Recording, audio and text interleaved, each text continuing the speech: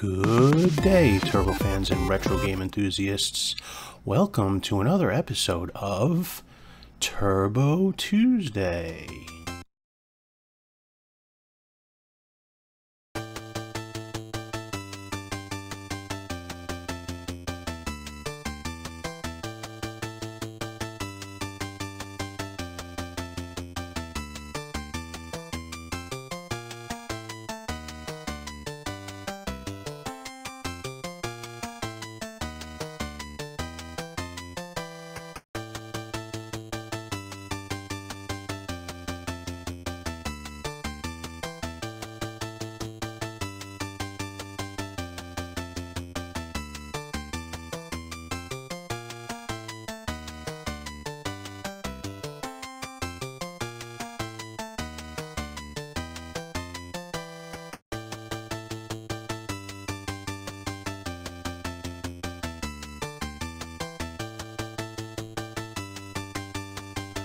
Released in 1990 for the TurboGrafx 16, Drop Off takes the classic breakout formula and adds a few twists.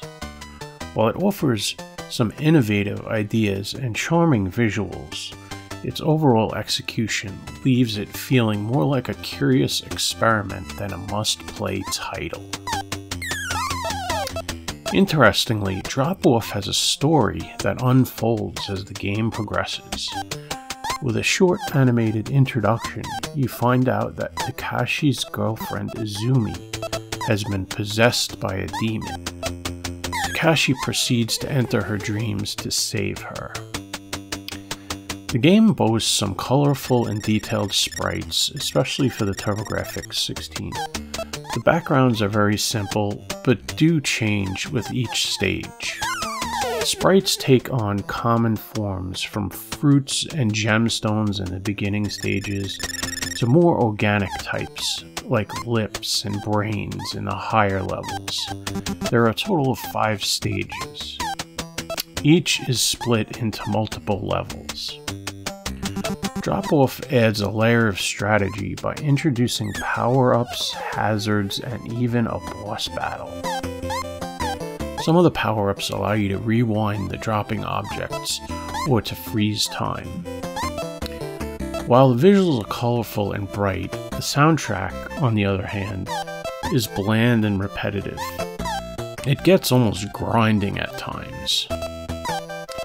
Drop Off is a love letter to Breakout, with a few intriguing twists. Its charming visuals and unique mechanics offer a brief diversion. But ultimately, the frustrating controls and repetitive gameplay hold it back from truly reaching its potential. If you're a die-hard TurboGrafx collector or have a particular fondness for breakout variants, it might be worth checking out. However, for most gamers, there are more polished and engaging brick breaking experiences available.